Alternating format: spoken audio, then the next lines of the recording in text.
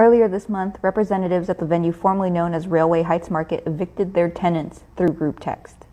Hey y'all, it's your girl Erica Chang with Chron. Let's get into it. Railway Heights opened in 2021 as one of the most highly anticipated food halls in the city.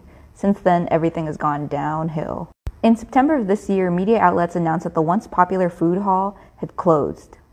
The website was shut down and social media accounts were inactive. However, the food hall was still operational. The venue was home to favorites like the Meat and Cheese Project and Mycuna, who had took advertising into their own hands. In November, the venue announced its rebrand as Junction HTX, opening a beer garden downstairs. Management told tenants that the beer garden would bring in more foot traffic and that the food hall could still function as a ghost kitchen concept. Essentially, they would make the meals upstairs and then deliver them downstairs to the beer garden. The Junction Beer Garden opened on November 14th.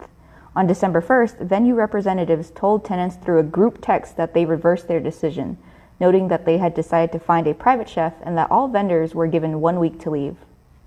On December 4th, the venue had locked out the vendors. Tenants complained about poor management, noting that foot traffic had been down for months and that the updates about the beer garden had been sparse. The former food vendors are still looking into other options like hosting pop ups and moving to Post Houston. What are y'all's thoughts?